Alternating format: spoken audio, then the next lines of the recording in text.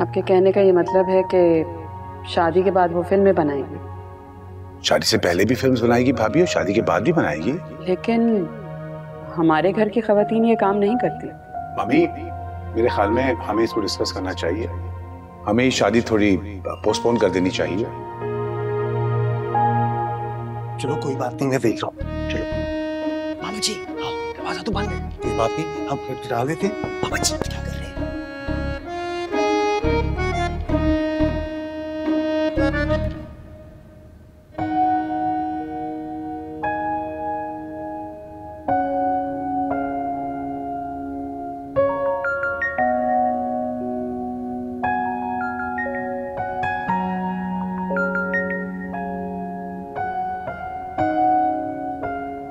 भाई जब गुस्से में होते हैं तो मामा पापा भी जो है ना ड्राइव पे चले जाते हैं और दो घंटे से पहले वापस नहीं आते इतनी डेंजर है? जी। अच्छा चलो फिर वापस चलो। आ जाओ।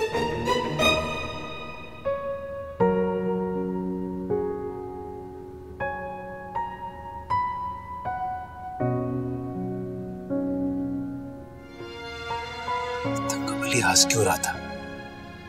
कोई तो गड़बड़ है।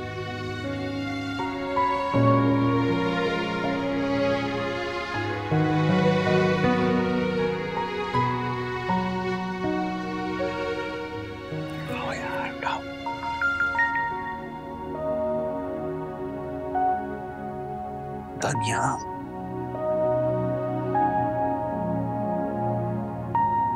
दानिया फ़ोन उठाओ यार। मैं बहुत परेशान हो रहा हूँ। मेरा इसमें क्या कसूर है?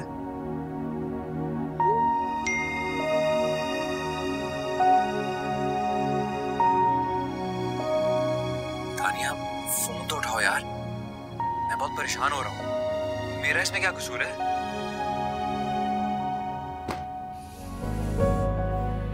इसमें रोहान का क्या कसूर? ये तो उसकी ममा ऐसे सोचती है ना।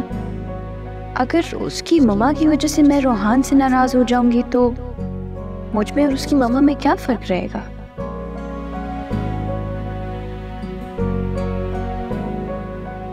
It's okay Rohan. कुछ नहीं होता।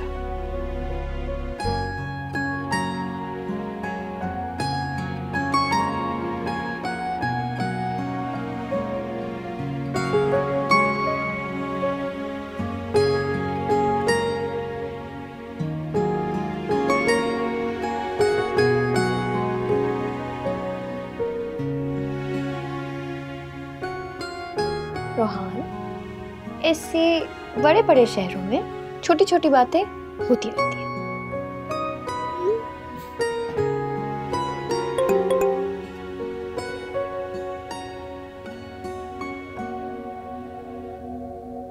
रोहान इससे बड़े बड़े शहरों में छोटी छोटी बातें